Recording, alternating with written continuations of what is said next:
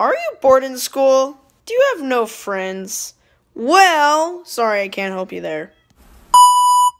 Are you tired of always writing and then you want to erase, but then you have to flip it? Oh my gosh, it's so much work. Then you have to erase, and I'm holding a camera, so I can't erase this. Well, then you need this a bucket. Now you can put it on top of the paper, so you don't have to look at it anymore. Yay! But wait, there's many other solutions to your problems. If you're tired of throwing a ball in sports, then just throw this. But wait!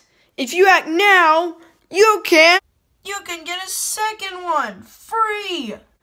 But wait, if you call now, you can Oh, come on, who called? Side effects may include the person who made this commercial scamming you,